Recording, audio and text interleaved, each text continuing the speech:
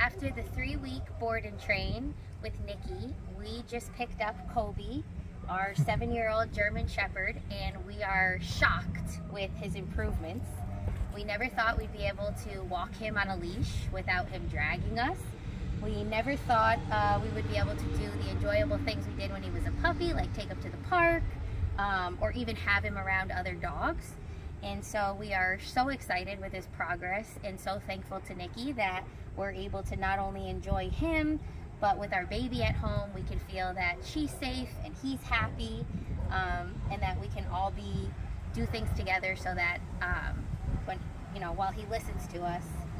And yeah, we can't thank you guys enough.